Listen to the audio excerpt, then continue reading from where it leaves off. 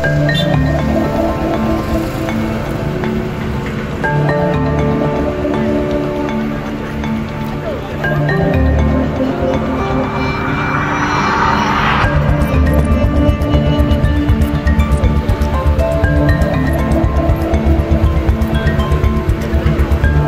hari ini kita uh, melaksanakan giat, giat seperti biasa ya patroli jukir liar yang ada di wilayah Kota Samarinda salah satunya adalah di wilayah Migacuan. Jadi memang kemarin ada laporan masyarakat uh, ataupun laporan juga dari pihak pemilik uh, restoran yang mana memang uh, saat ini di Migacuan tidak diperbolehkan ada kegiatan pengelolaan parkir atau pungutan parkir.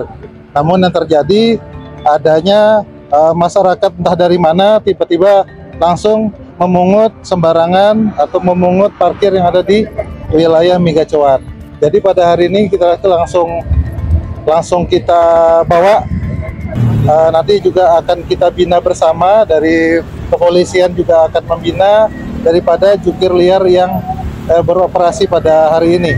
Jadi kejadiannya sebenarnya sudah berlarut mulai beberapa hari yang lalu sudah pernah kami tegur, kami usir, namun ternyata tetap mereka uh, melaksanakan atau melakukan pelanggaran pungutan yang ada di wilayah Migacuan ini.